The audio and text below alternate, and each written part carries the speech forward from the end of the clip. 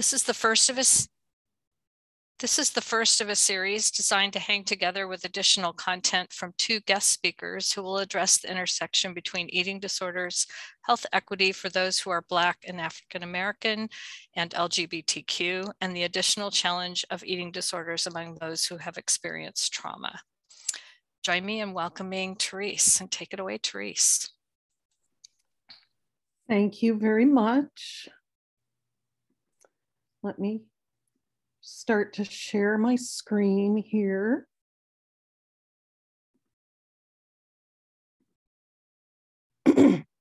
so thank you both Kathleen and Sam for the warm introduction. And thank you to the Oregon Health Authority for sponsoring this series.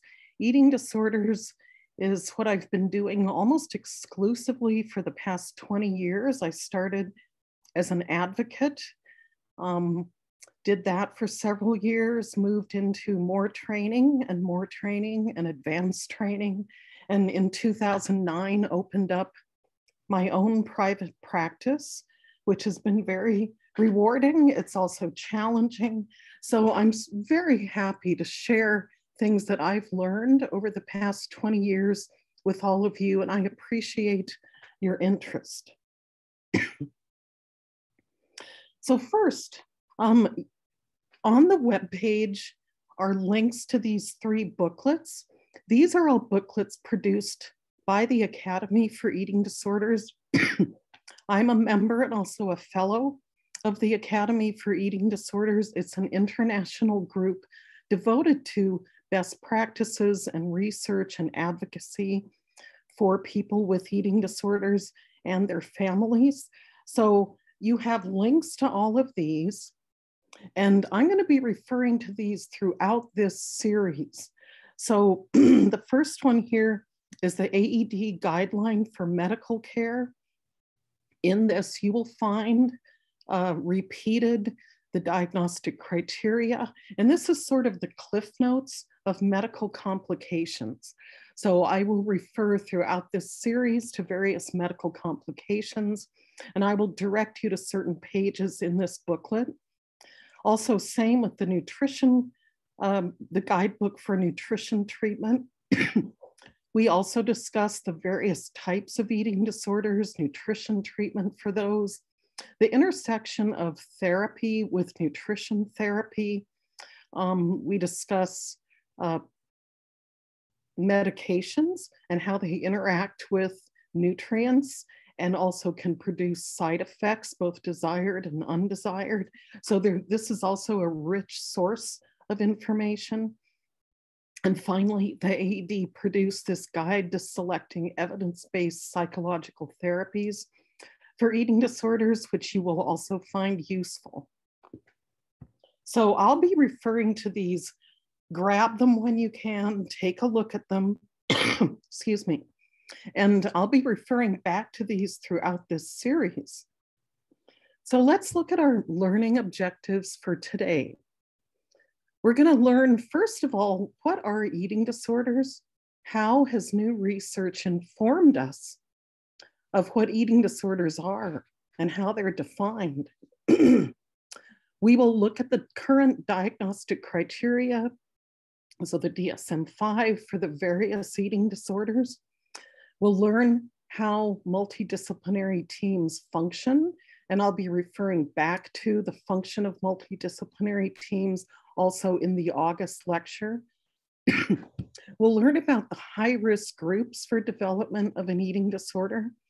And then we'll learn how to use two validated screening tools that you may find useful to use in your places of work um, I know I've lectured at health departments and schools, and often uh, mental health specialists in those locations do like to provide screening for eating disorders. So we'll look at a couple of validated tools.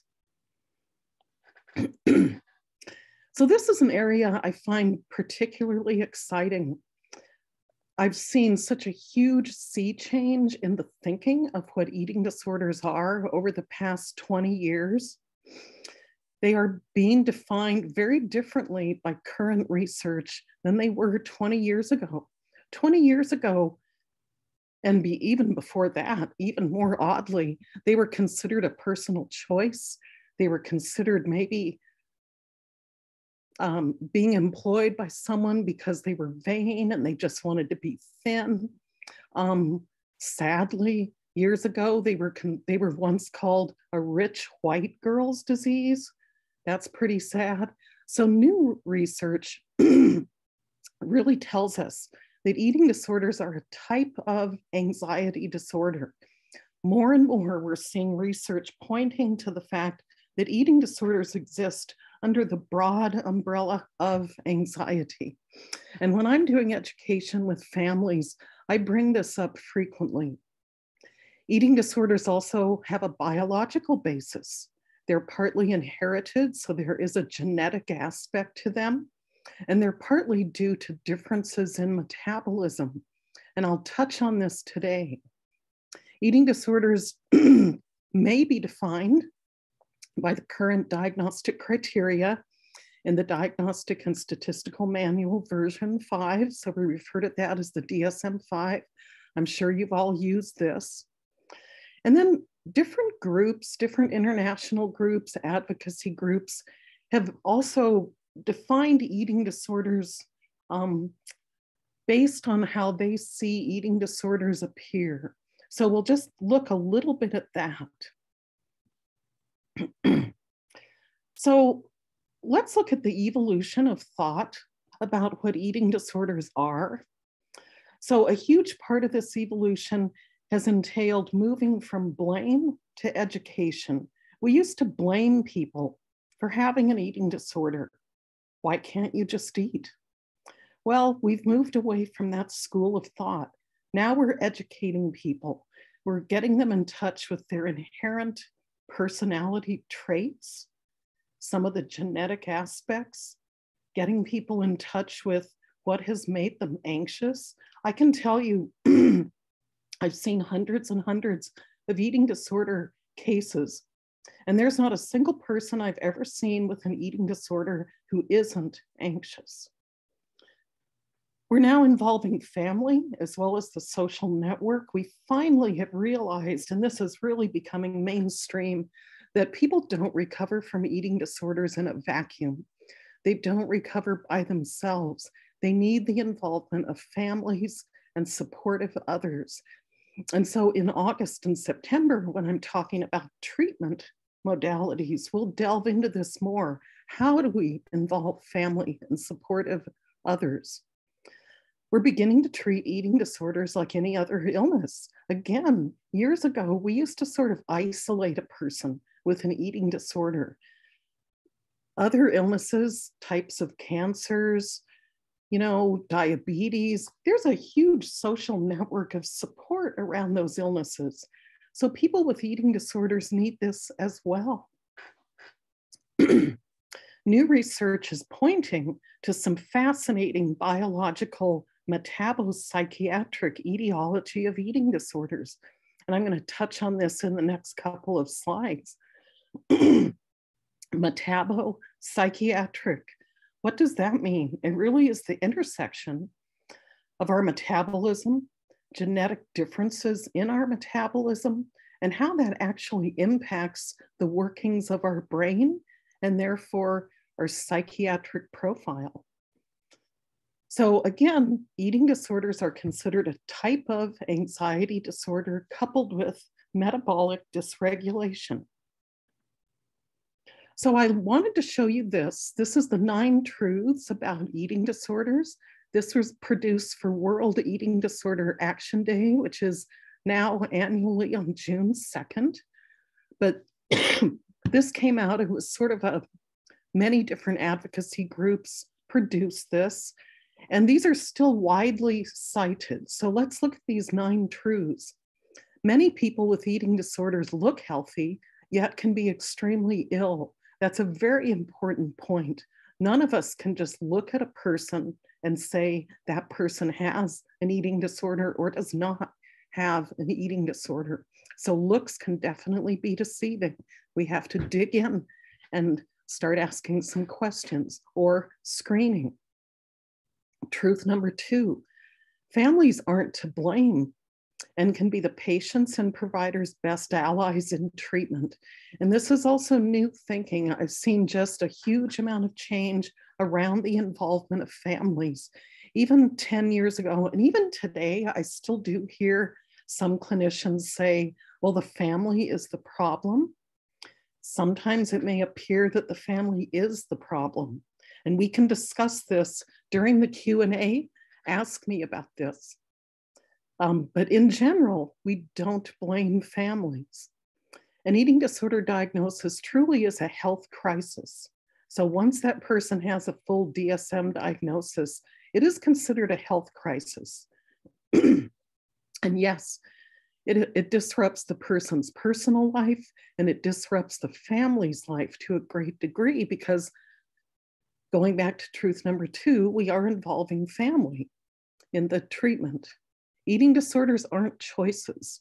And I think this is important. And so many people with eating disorders are so glad for this because in the past it was considered a choice. Again, the why can't you just eat attitude. And it's not that simple. It's not a choice. It's a biologically influenced illness.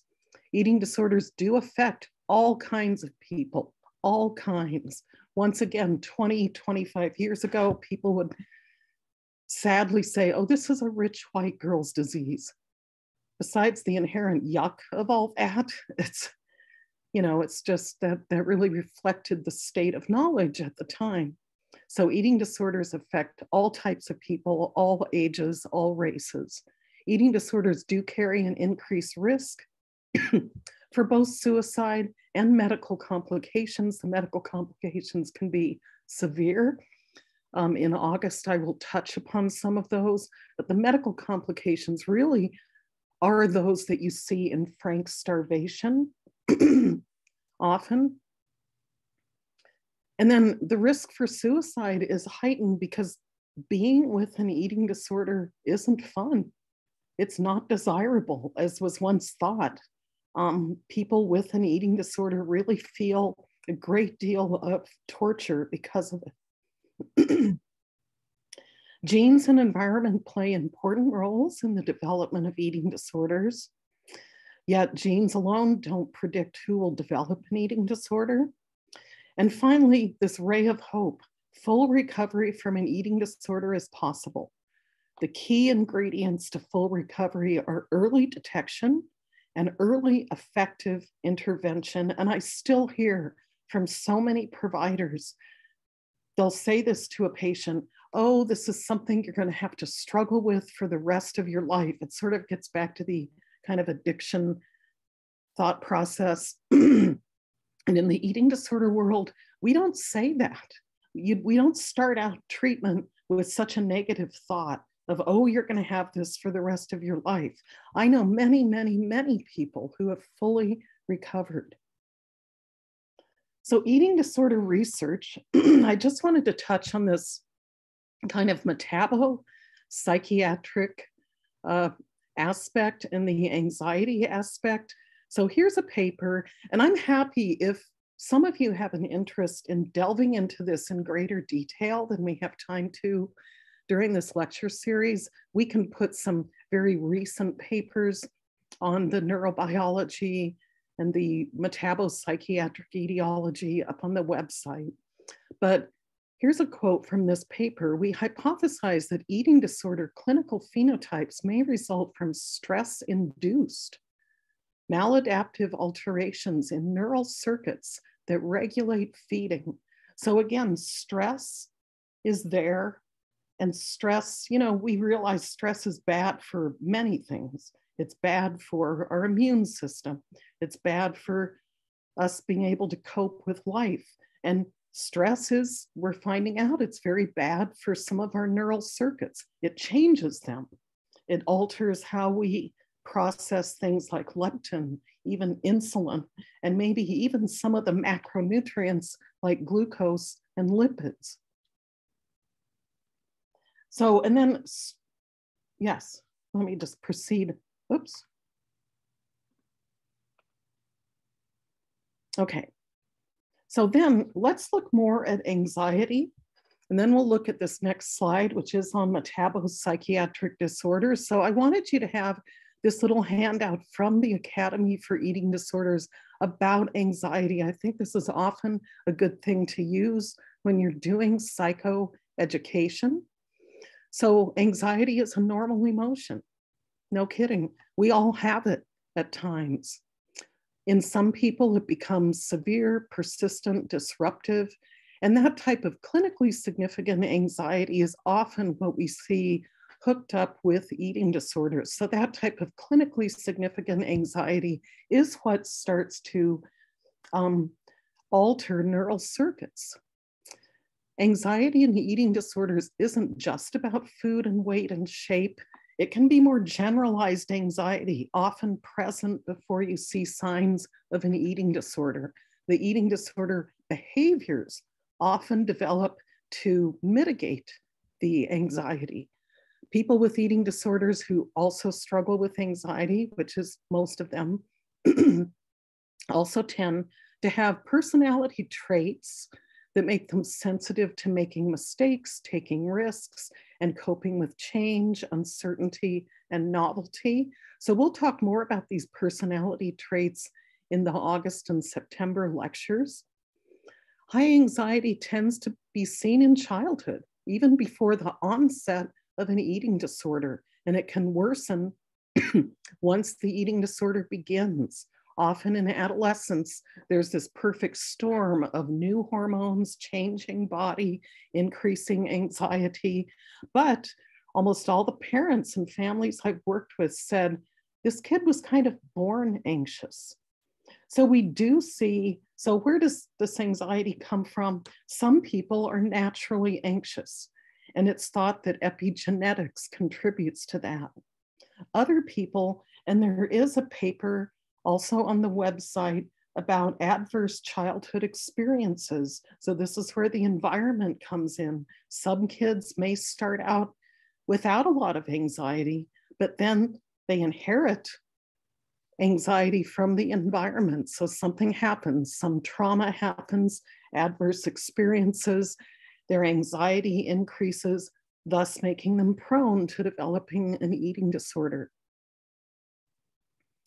People with eating disorders often, usually, experience anxiety before, during, and after eating, which can cue the eating disorder behaviors. Eating disorder behaviors such as restriction, exercise, and purging may provide short term relief from anxiety. So often, people with anorexia nervosa are genetically predisposed to feeling calm when they restrict. and so people are right now teasing out the genetics and the neurobiology behind that.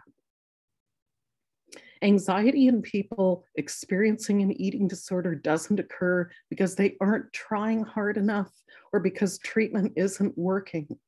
It's rather what has happened to their brain. And I'm sure most of you are familiar with the fact that trauma, anxiety, it kind of causes that part, that primitive part of your brain to light up and it can stay lit up.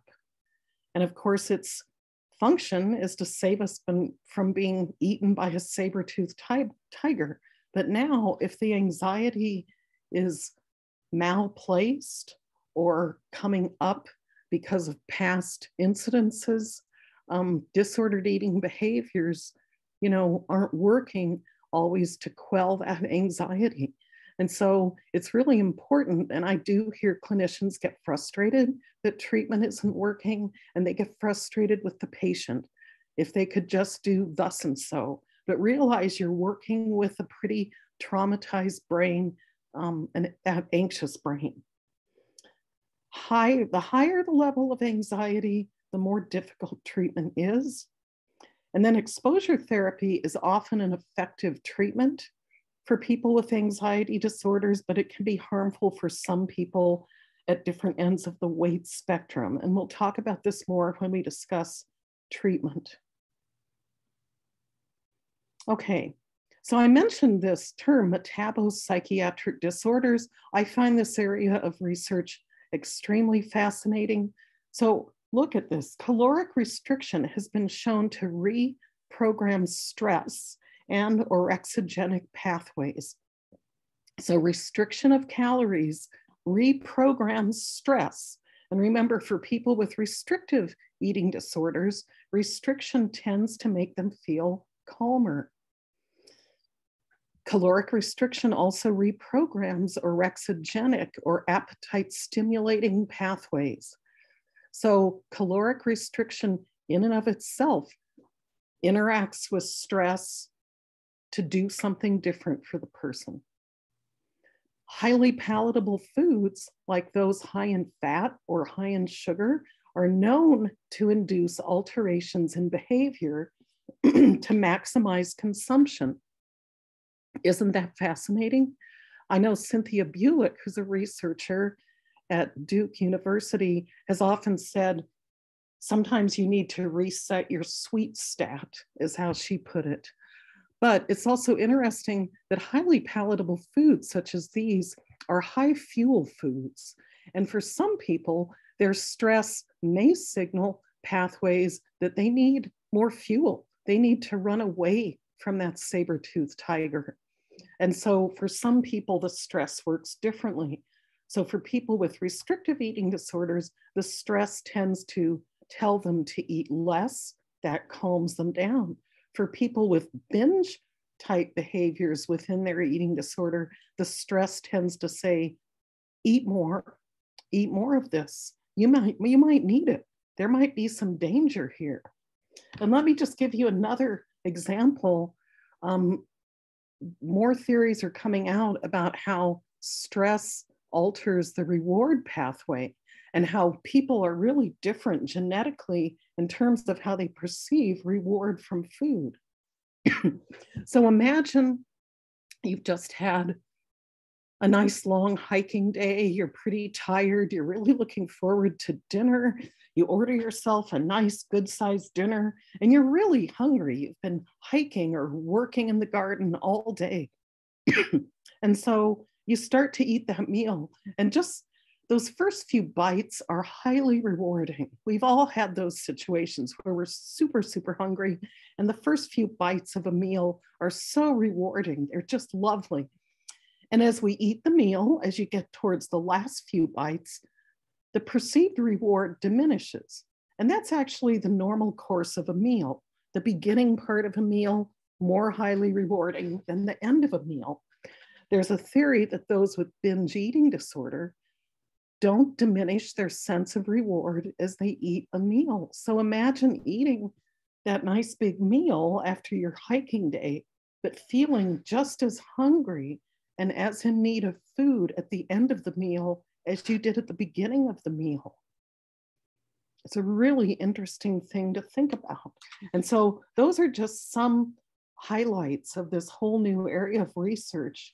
And I've had many people with eating disorders say, you know, when I learn about this stuff, it really makes me feel so much less blamed. They, they feel like both in treatment and from family members, they're somehow to blame for their eating disorder. And then they learn about this type of thing and how genetics, the environment, stress, their metabolism are all working towards having them adopt these behaviors that somehow at the end of the day are there to mitigate some of that anxiety. So now let's look at the diagnostic criteria.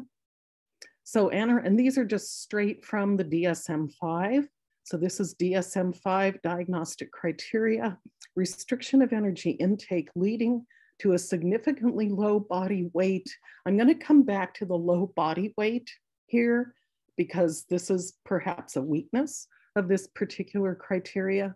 Restriction of energy intake leading to a significantly low body weight in the context of age, sex, developmental trajectory, and physical health. you might replace low body weight with leading to a significant weight loss or fast rate of weight loss. Also, there's an intense fear of weight gain, even in people who are underweight. So that's what you see in anorexia nervosa. There's a body image disturbance undue influence of body weight and shape on self evaluation. So these are people where their feelings of self-worth self-worth are highly influenced to a great degree by body weight and shape. And there's also a denial of the seriousness of the current low body weight or rate of weight loss. Um, agnosognosia is a key feature of anorexia nervosa. Agnosognosia is um, lack of insight into one's illness. And we see that all the time in anorexia nervosa. So these are the diagnostic criteria. Here's the ICD-10 codes for that. Bulimia nervosa, recurring binge eating episodes characterized by the following, eating a large amount of food within a short period of time, and usually the short period of time is considered to be about two hours, and also a sense of lack of control, reoccurring inappropriate compensatory behavior. So these are the purging behaviors, self-induced vomiting, laxative abuse, excess exercise is a purging behavior, use of diet pills. Binge eating and compensatory behaviors occur on average at least once a week for three months. So once a week for three months. And again, self-evaluation is heavily influenced by body shape and weight. so bulimia nervosa has features of both anorexia nervosa, being that self-evaluation is heavily influenced by body shape and weight, and also features of binge eating disorder, which is feeling the lack of control during a binge. And then ARFID, this is a newer diagnosis in the DSM-5, avoidant restrictive food intake disorder. And this is a really interesting one. it can sometimes look like anorexia nervosa, but it isn't. What are the differences? So this is an eating or feeding disturbance so pervasive that the person is not able to meet appropriate nutritional needs. It results in one or more of the following significant weight loss, nutrition deficiencies, dependency on nutrition supplements, or interference with social functioning. So sometimes people with ARFID don't like to eat in public, don't like to eat with others. The problem with eating is not explained by lack of food being available. This is different from anorexia and bulimia in that the problems with eating are not related to the way the person thinks about their size, weight, or shape. So this is a key difference. I've seen kids and adults with ARFID and some of the presentations. I had one child who experienced an accidental poisoning and she went through a period where she was just vomiting almost uncontrollably. She was already an anxious child, been anxious forever, her parents said. And so this, of course, just added to her anxiety. And then she was afraid to eat because she was afraid to vomit. And she was afraid of the sense of fullness to the point where she was becoming dehydrated. Her pediatrician referred her to me because she was dehydrated. And so we started, we did like exposure therapy. And we started, my first prescription was four ounces of water every 90 minutes throughout the day. So we had to address dehydration first. We had to, eight ounces of water was too much. Four ounces I knew would dissipate quickly. So four ounces of water every 90 minutes. And from there, we started to build in foods. Anyway, ARFID is really interesting. It presents very differently. Some people with ARFID have what's called selective eating disorder, highly selective eating. So these people may eat 12 or 15 foods, and that's it. It's, and yet amazingly, if you do a dietary analysis of their eating, um, they're eating enough they're eating adequately they're they don't have nutrient deficiencies. They might need a little bit like maybe a vitamin but they're highly selective eaters. It's very interesting um, so this whole avoidant restrictive food intake disorder very interesting set of problems.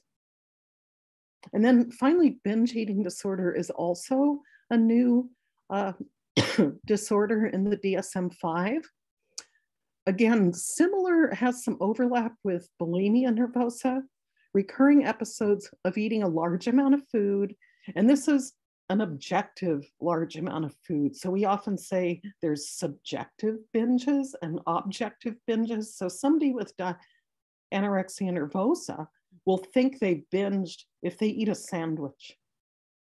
Okay, that's a subjective binge. Most of us would not look at a sandwich and say, yeah, that's a binge episode.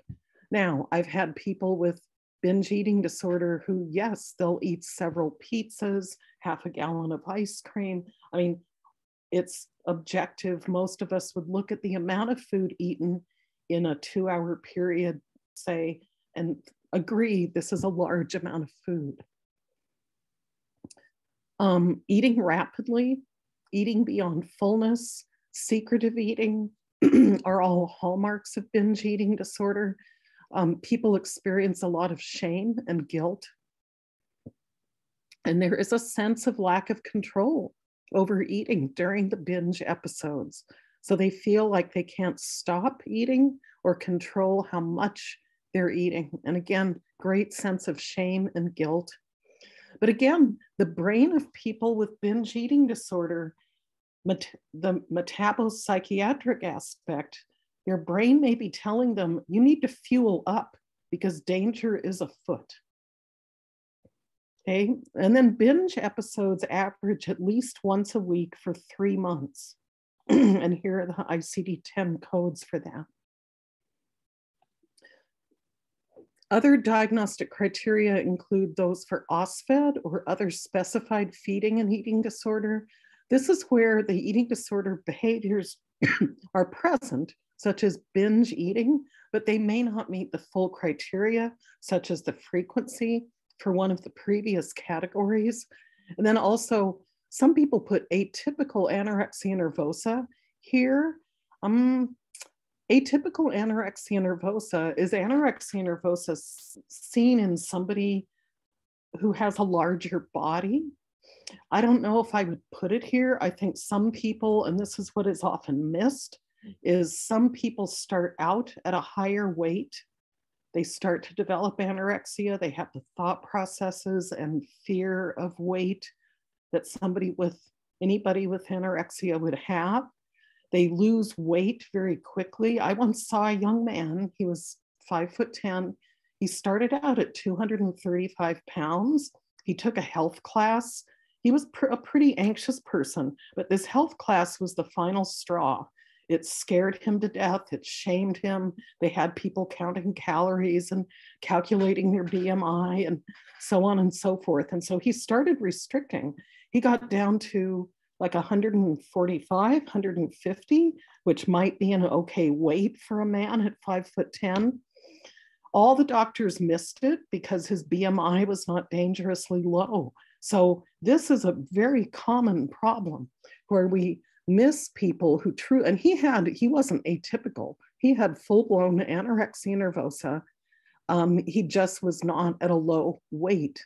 So i see the dsm-5 evolving to get rid of the low weight part and moving into rate of weight loss or amount of weight lost over time and then UFED, unspecified feeding or eating disorder. Here we have eating disorder behaviors present, but there's not enough information to make a diagnosis. So sometimes a doctor will diagnose UFED. They say, you know, I'm hearing this patient report on eating disorder behaviors, but they need more evaluation, usually with a, a therapist or somebody who's an eating disorder specialist. And then orthorexia, this isn't really a DSM 5 diagnosis, but it is something to pay attention to. So people with orthorexia are often very perfectionistic. they limit foods or they have a lot of food rules, usually with the idea of being healthy or eating perfectly, whatever that is. There really isn't a thing like perfect eating. Both orthorexia and diabulimia are terms adopted by the lay press, currently not recognized as official diagnoses. Diabulimia is a term given to people who manipulate insulin in order to lose weight. So a lot of people with diabetes learn that if you withhold insulin or inactivate your insulin, that results in weight loss. That, of course, is a really dangerous thing to do. So I've already mentioned there are some weaknesses that have been recognized in the DSM-5 criteria. One is that weight really isn't as important a factor. It's important to follow weight over time as a clinician. I'm a nutritionist. And so, of course, I follow weight because it's sort of a barometer. It's like a proxy in some cases of what's going on or gives me an indication of how people are eating. But I don't think it's the be all and end all when it comes to diagnosing an eating disorder. I think weight loss over time is more important. And then also just the behaviors in binge eating disorder and bulimia nervosa, you might not see changes in weight at all, but you still see people just really involved in behaviors that are damaging to them, that are in, interfering with their life and their lifestyles. Um, so just really evaluating those behaviors and we'll look more, we'll look in more depth at behaviors, specific behaviors in the August and September lectures as well. And then also these diagnoses are not stagnant.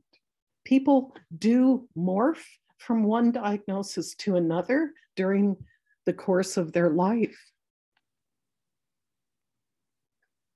So let's look at screening for eating disorders. I think this, this is the first important practical tool I'm going to give you. Later, we'll look at, um, well, I'll talk in a minute about what we're going to look at later, but I think screening is really important, even if you're not an eating disorder specialist. You know, I think almost any person can do these screens. They're very simple. So it's important because, as we said earlier, full recovery is possible if eating disorders are detected early and effective treatment is started early. So the research is abundantly clear that that's the case. The sooner you find out that an eating disorder is present and the sooner effective treatment is started, the better the prognosis. There are high risk groups to consider for screening, which I'll show you in a second. And then screening might point you toward those individuals with concerning signs and symptoms, but who don't yet meet full criteria and we can still intervene. There are uh, protocols being developed for uh, prodromal anorexia nervosa, for example.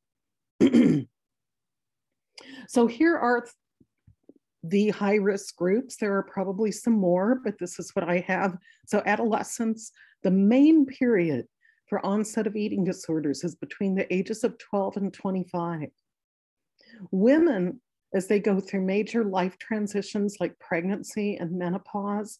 And so remember, if they have a significant amount of anxiety in their background, some of these transitions can be the straw that breaks the camel's back.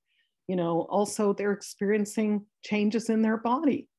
And we live in a pretty toxic universe when it comes to how we view bodies and standards of beauty and so on and so forth. And we'll be going into more of that during this series.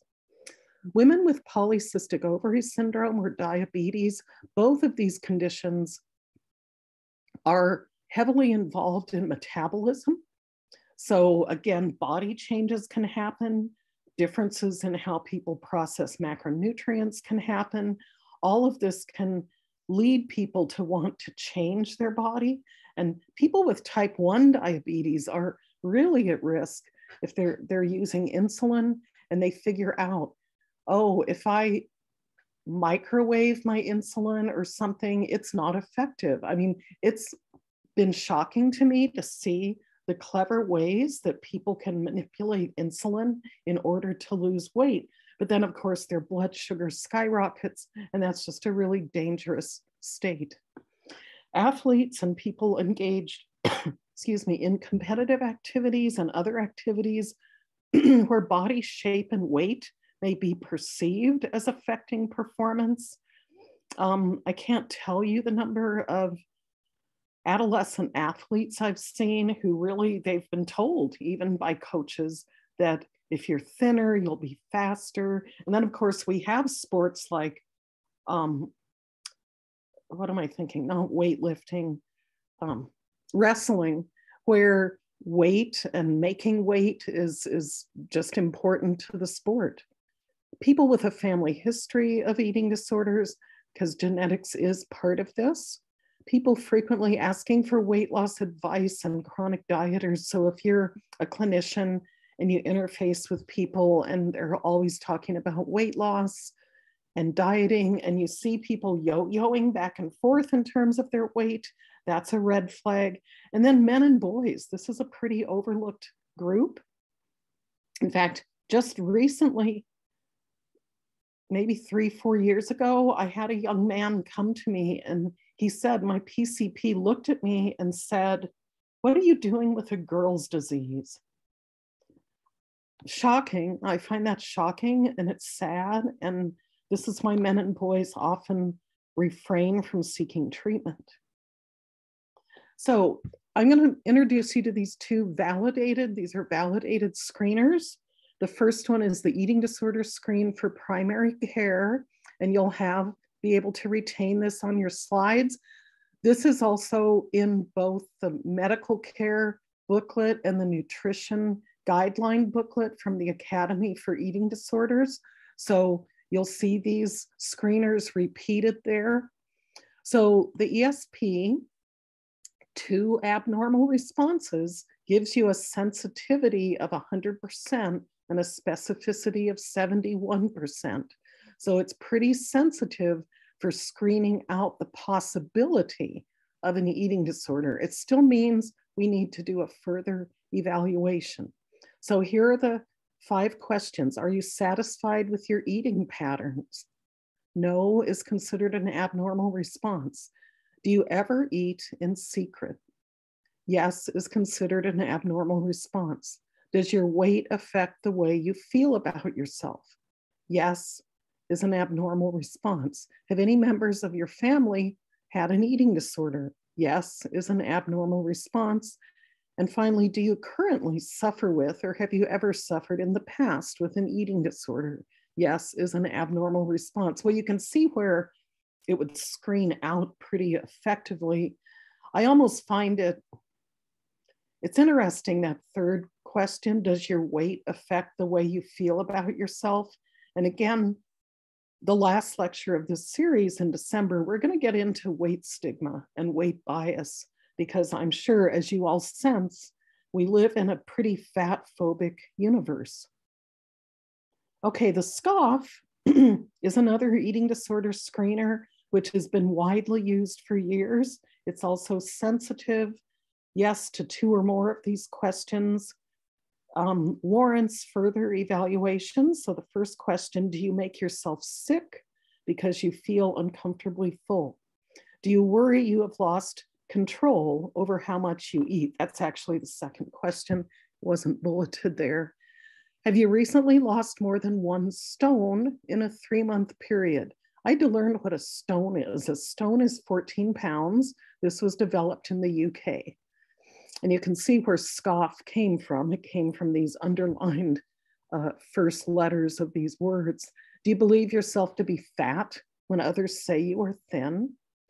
Would you say that food dominates your life?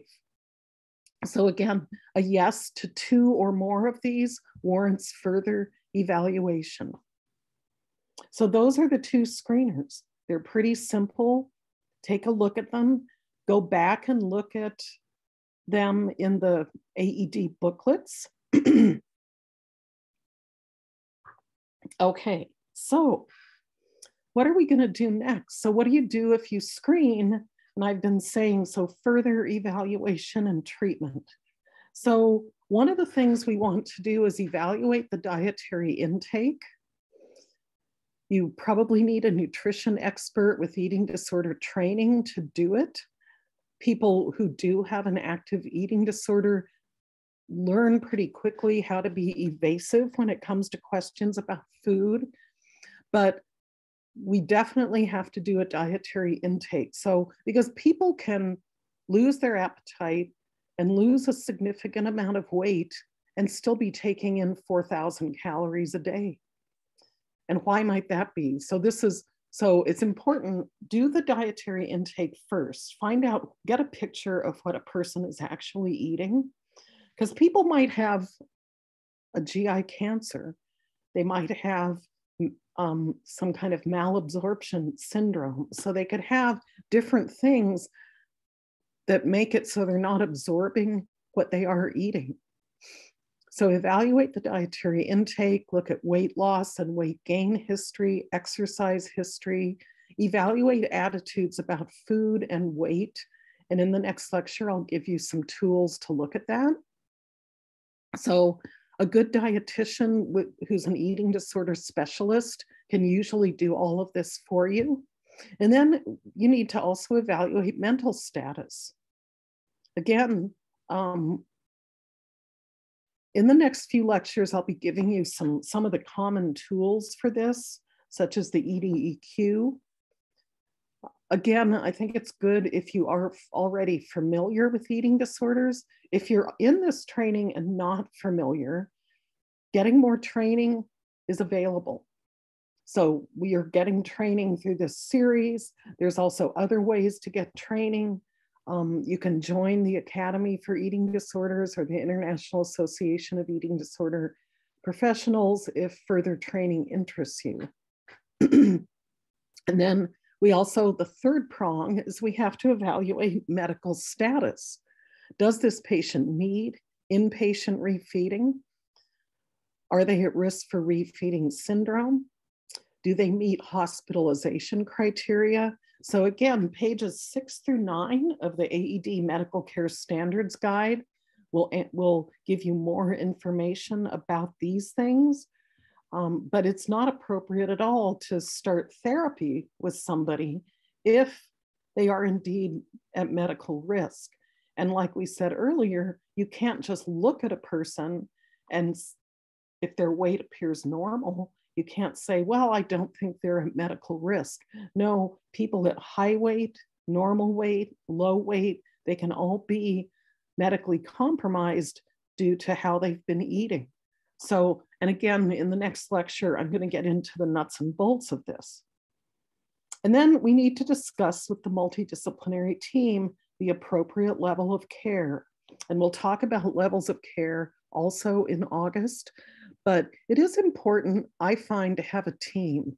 And so usually a multidisciplinary team is comprised of uh, the therapist or mental health specialist, the dietitian, and the medical doctor, and sometimes a psychiatrist. And we all are sharing information back and forth.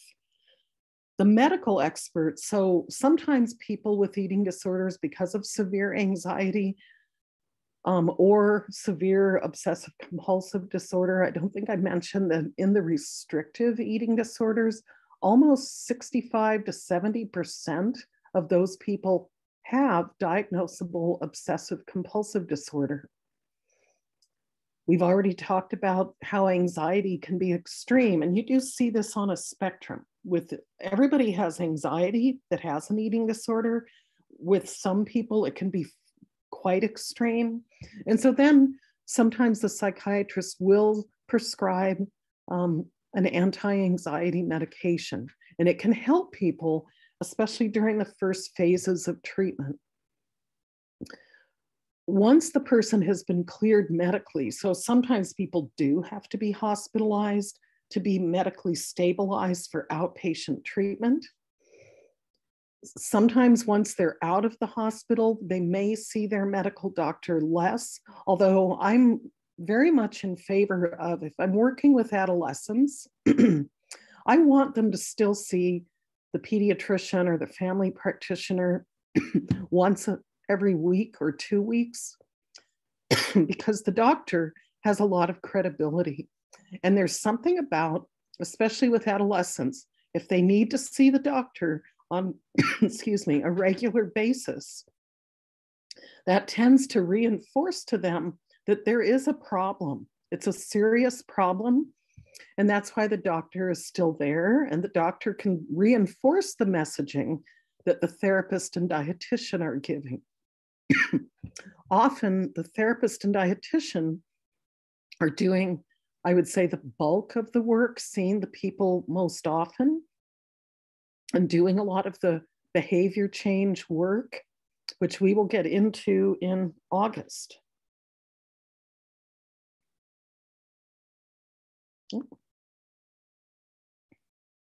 Thought there was one more slide, but so we are pretty much done. We're a little ahead of time, but I think that's good because it'll give us more time for question and answers here. This is Kathleen. If um, we could continue to have the questions in the chat.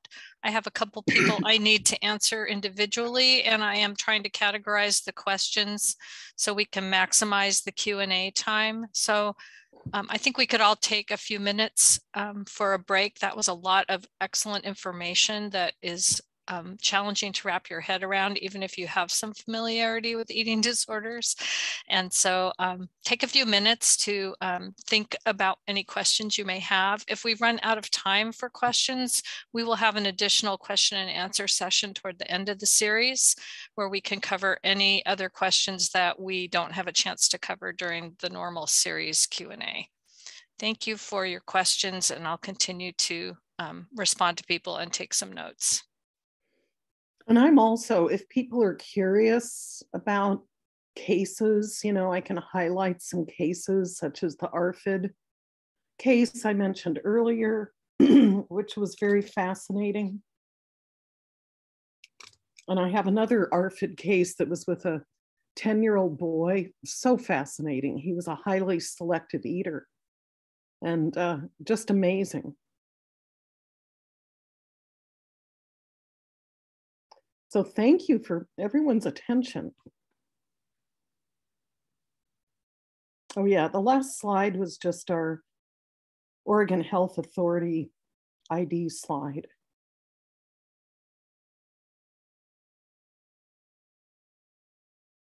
and sorry for my coughing. I live in the Willamette Valley where the pollen count is now so high and I'm having I'm allergic to pollen. So, yes, thank you for also being patient with me clearing my throat due to allergies. Super fun.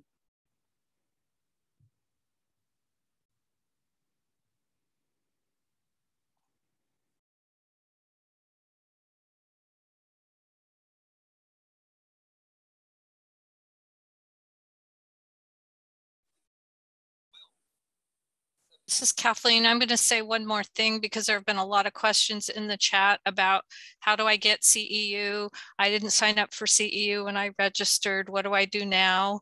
Um, what you do now is that you email Sam Haskins at sam.l.haskins at dhs. I will put that in the chat for you and let her know that you want CEUs. You have to have attended the entire session today from 12 o'clock until 1.15. These are the requirements of the NASW who is authorizing the CEU.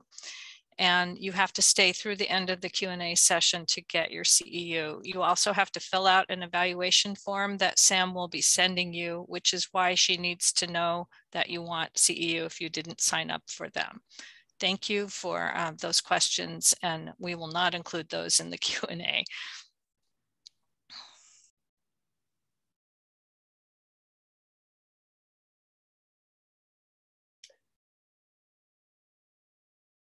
Well, what questions do you have?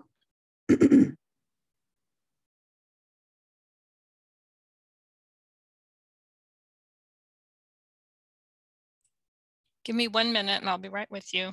Hang on.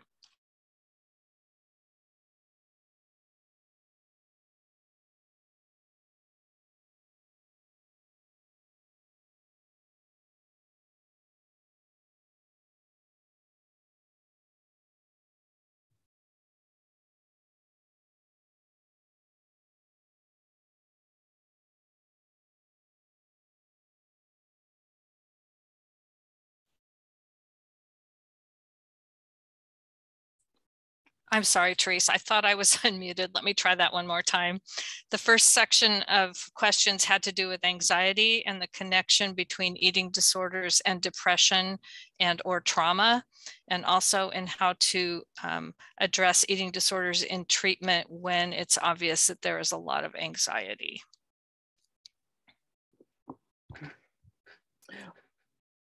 Well, in treatment, and this is what I've learned from my colleagues in mental health, it used to be thought that you should treat, like if the person does have verifiable trauma or PTSD, it was once thought that you should treat that before the eating disorder. It's no longer thought that. It's really thought let's co treat these conditions, use medication if you need to, um, realize that in eating disorders, there's always going to be anxiety there. I've asked so many clinical psychologists that I see. I've done kind of a back of the hand short poll of some of the top psychologists that I know. And I've said, Have you ever seen a person with an eating disorder who didn't have anxiety? And they all say no. And now there is research out of the um, uh, University of California, San Diego, Walter Kaye's research and Christine Wierenga's research that really shores up the fact that eating disorders are a type of anxiety disorder. So you have to treat both. Sometimes it becomes helping the person realize well, first of all, if they're still in a dangerous situation, like a domestic violence situation, that has to be attended to, of course, otherwise the anxiety will continue. Um, if whatever caused trauma has resolved, if it was, if the anxiety arose because of trauma, then working through the trauma, some people use EMDR or other ways to deal with the trauma. I will even say in sessions, even though I'm a nutritionist and sometimes we're talking about food and the anxiety has landed on food and weight concerns, even though there may be another origin of the anxiety, I will say to people, tell me how you know you're safe. So bringing people back to a grounded place, a safe place is important. So there are some people for whom the environment caused anxiety, trauma caused anxiety. And so those things have to be dealt with separately, but concurrently with the eating disorder. Eating disorder treatment always involves cessation of eating disorder behaviors. So as you're working with trauma, still having the person eat, because not eating actually magnifies anxiety. Having low blood glucose is an anxious state. So we want to bring the person back nutritionally. That way they can actually engage in therapy better.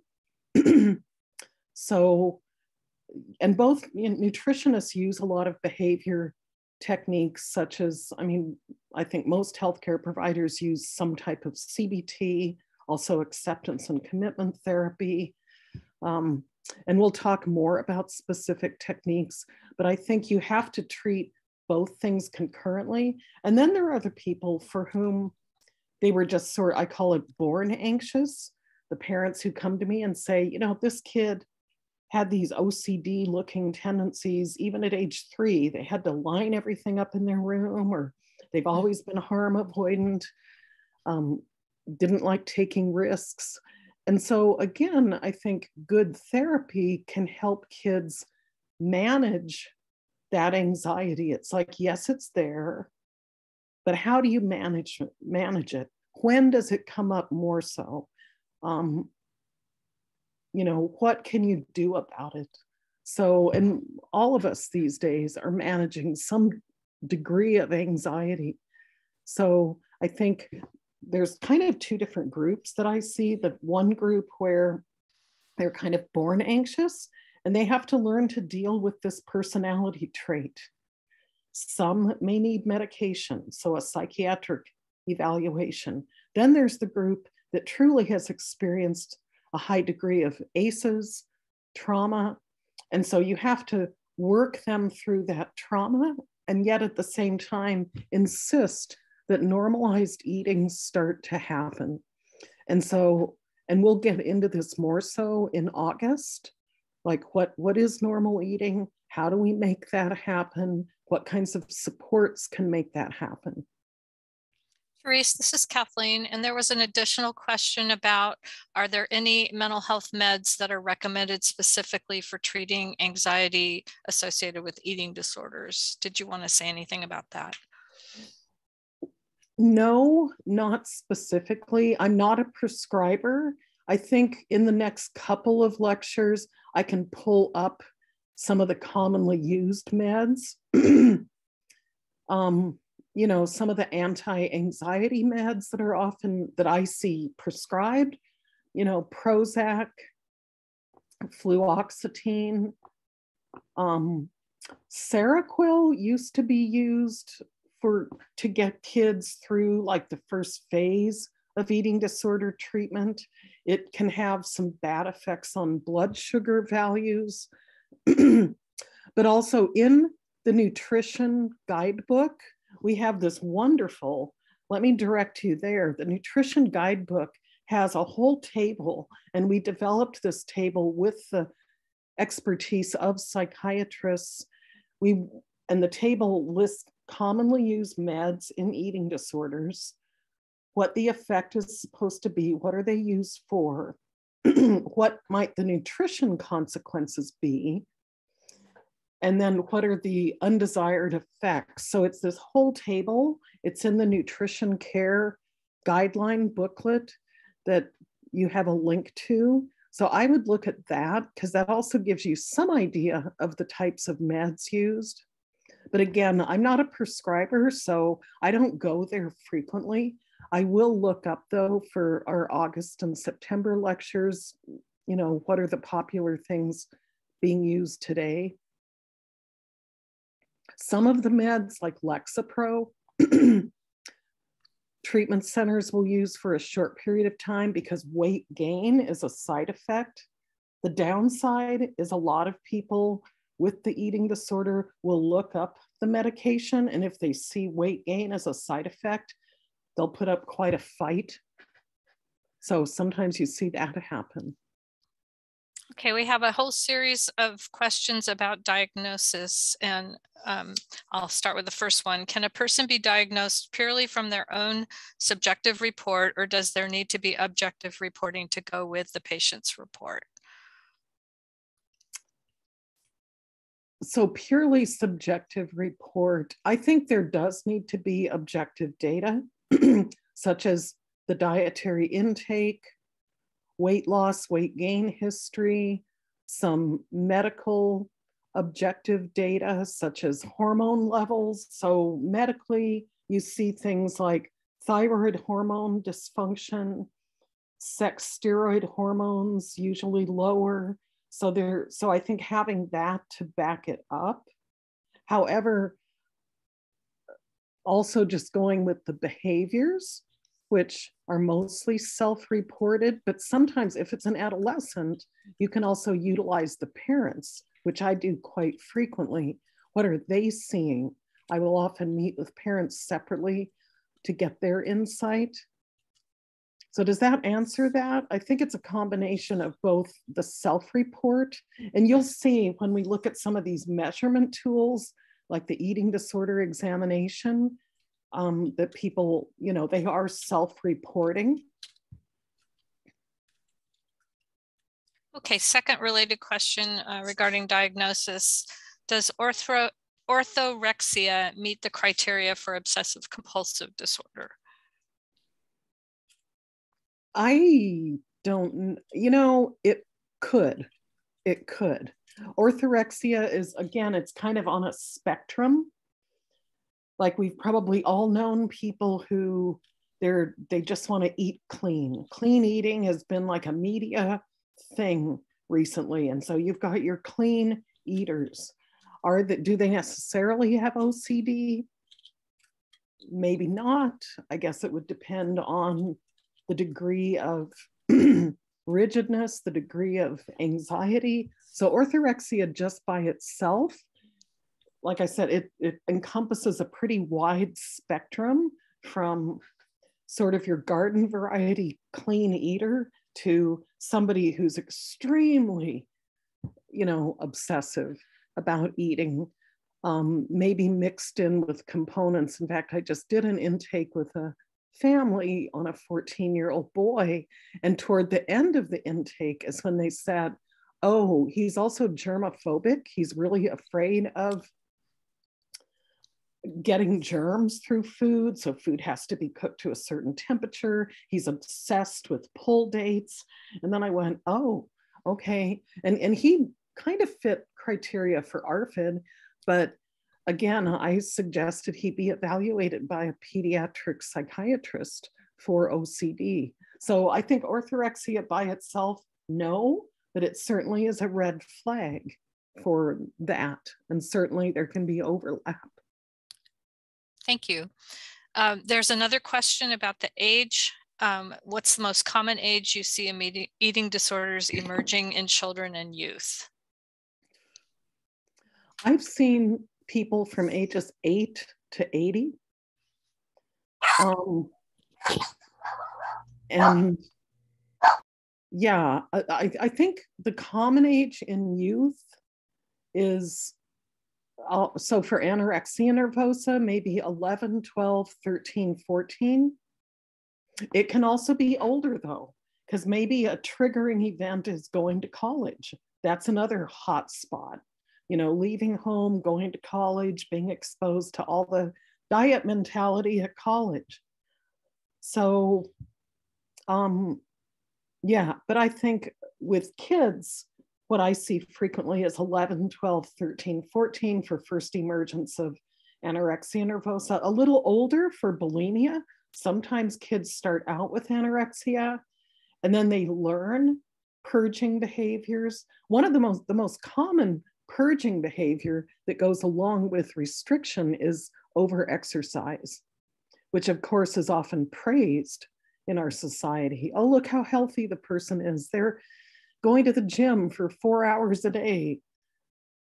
Yeah, well, and that's when I pay attention to parents when they say, you know, this just isn't my kid. I mean, it just doesn't feel right, their obsession. Or 10 o'clock at night, they're supposed to be going to bed, and the parents hear this pounding in their bedroom, and they go in, and the kid is just doing push ups, you know, or, or sit ups like a wild person. okay, we had a couple of questions about screening. Um, can anyone complete a screening or does it need to be a qualified mental health professional? For example, could a teacher complete a screening and refer to a therapist? I would say yes. I think anybody can do a screening if you, these are very simple questions. It doesn't imply that you're going to start treatment or make a diagnosis. So I would say yes, a teacher could do that and then refer to a therapist for the further evaluation. Okay. Next question, is the SCOFF screen only for losing 14 pounds or could it also be positive if a person gained 14 pounds? That's interesting because it does say losing, but I would say, um, you know, if, and the gaining of 14 pounds, I guess it's like, hmm, is are we saying is that pathological or not? So i think it's tends to be tilted a little towards screening for anorexia nervosa. Um, but yeah i would just stick with the SCOFF questions as they are because i think the other questions within the SCOFF if you, two of those showed a positive um, I don't think it's been, then, then you would refer on for further evaluation. I don't think it has been evaluated within the context of weight gain. Thank you.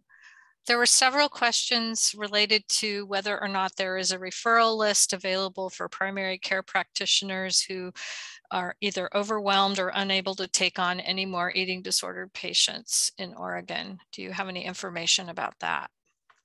A referral share? list, a referral mm -hmm. list for treatments. Well, I think it's in our next lecture.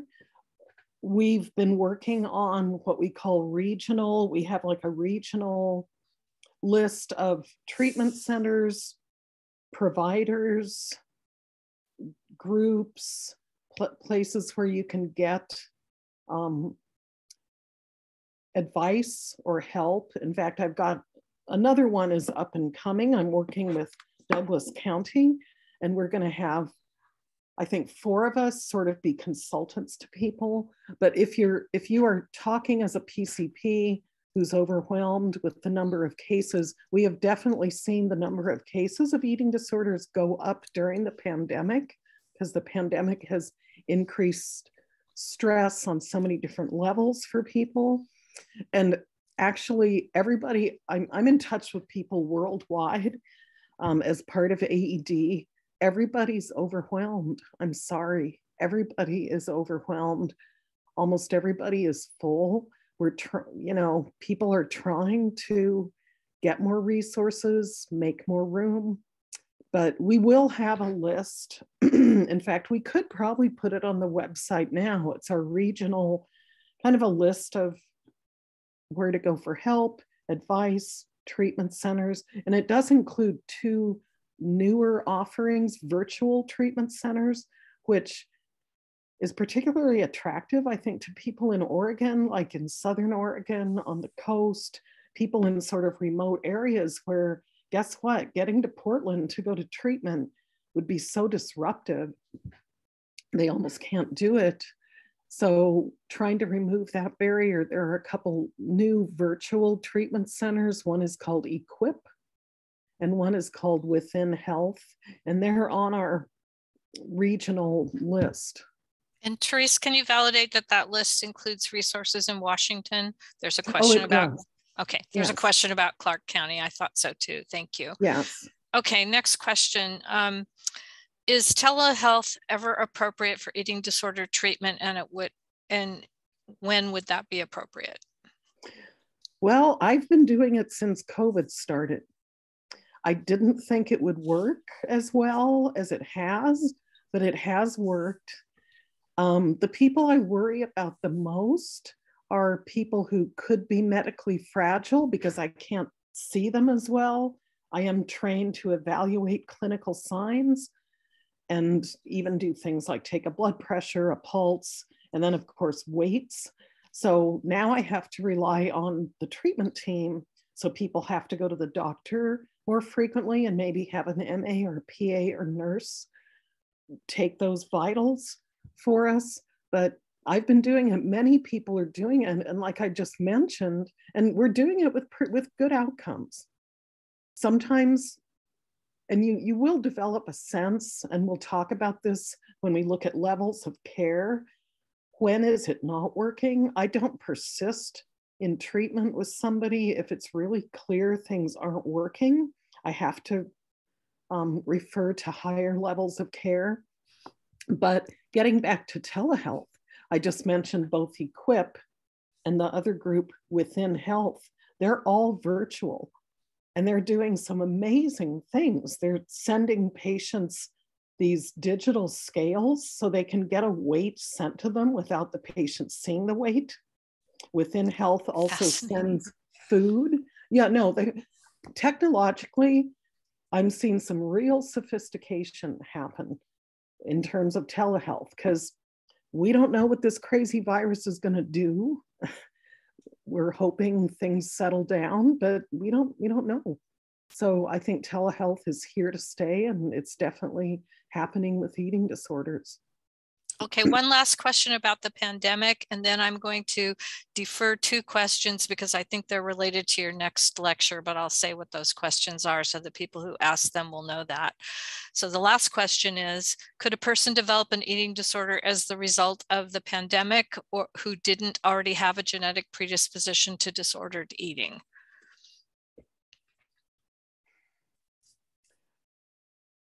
I haven't seen a lot of hard results, like just as a result of the pandemic. Usually there is some genetic aspect, there is something genetic that makes it possible to restrict to the level that somebody with anorexia nervosa restricts. The genetic part is you can see pretty clearly when every person I've ever had with anorexia nervosa, and I've had a bunch, say when they restrict, like when life becomes stressful and they restrict, restriction has a calming effect. I don't know about you, but restrictive food intake does not have a calming effect on me.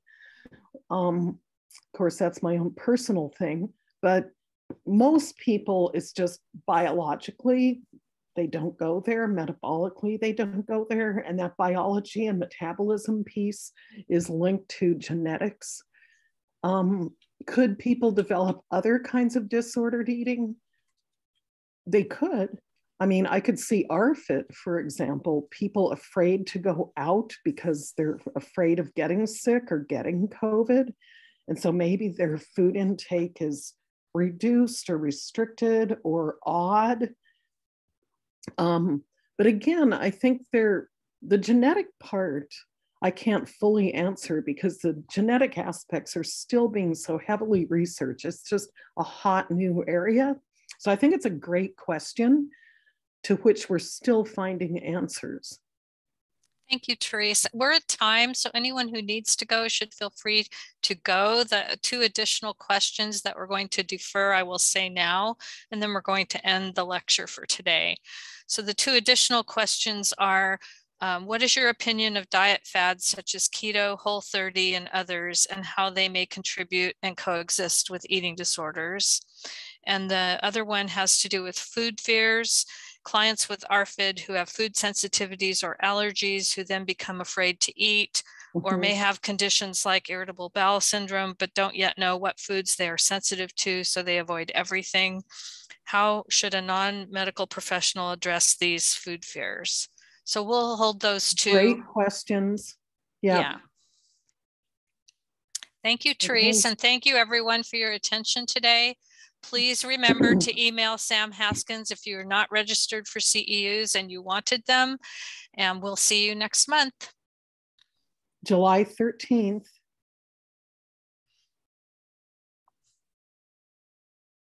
Lots of positive comments in the chat. Thanks, Therese. How do you think it went?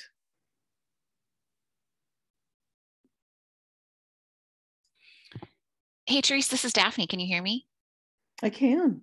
Hey, um, so we work together at Trillium and Pacific Source, and mm-hmm. I just wanted to say hi because I am now at Umpqua Health Alliance in Douglas we County. are. Okay. Yeah. So, um, you know, if you're doing work in Douglas County, please let me know. I'd love to um, get looped in and Email be a part of that. Your contact info, because okay. definitely. Mm-hmm. I'll do it. Thank okay. you. That was wonderful. Good. Yeah. Great audience. Fantastic questions. Yeah, that was perfect. Thanks so much. Mm-hmm. Therese, this is Dimitri. Can I ask you a quick, quick question? It's just a yes or sure. no. Sure. Um, I work with the trans population uh, population specifically. Are you going to be addressing this community? Yes. Wonderful. Melissa Grossman is going to be talking about LGBTQA plus issues and concerns and eating disorders. I was hoping I had Taylor Craven. Do you know Taylor Craven? is a trans man who I was hoping to have do a lecture for us, and he unfortunately wasn't able to. But yes, Melissa Grossman will be addressing that. Okay. Absolutely. Because thank you very much. High risk. Sure. Thank yeah, you. Yeah, I was missing on your slide and I was. It was. Yeah. Thank Melissa, you. what's her last name again? Grossman. Grossman. Mm-hmm. Okay. Dimitri, right. this is much. Kathleen. I was messaging you to try to give you that information, but you must not have seen it. So um, just oh, wanted to let you know I did answer your question. okay. Thank you. And thank uh-huh. you, Teresa. It was excellent. Thank you. Thank you. Hey, Sam, I think you can turn off the recording.